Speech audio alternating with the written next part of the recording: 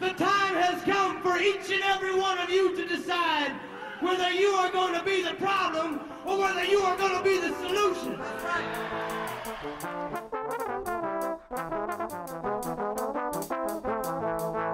Some strange noises brought Milo out of the hen house.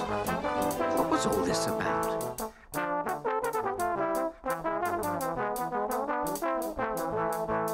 Uh, this week, I broke the story that Shaun King, one of the most prominent figures in the Black Lives Matter movement, has been telling fibs.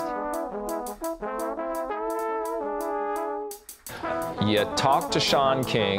How is he explaining the accusations, if you will, about who he is. Yeah, absolutely. Well, I think that first of all, we need to set the stage here, which is that the three um, right wing websites, the right wing blogs that went after Shaun King, should be familiar to many people because uh, of a simple name that people should remember, which is Shirley Sherrod. And I think before mainstream media takes too seriously the claims of right wing websites that do have a political slash racial agenda, they are stoking uh, racial resentment for their audience. It's what they do.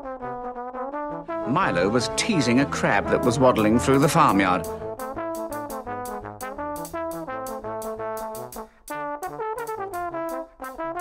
So Shaun decides to be messy. He sends out this tweet, and when I tell you Netta's ass came for him, honey, she drug his ass up and down Twitter. Then DeRay jumped in. DeRay wasn't as messy, but he kind of put Shaun King in his place, okay? And then soon, a lot of people from Black Lives Matter and Black Twitter decided to drag Shaun King as well.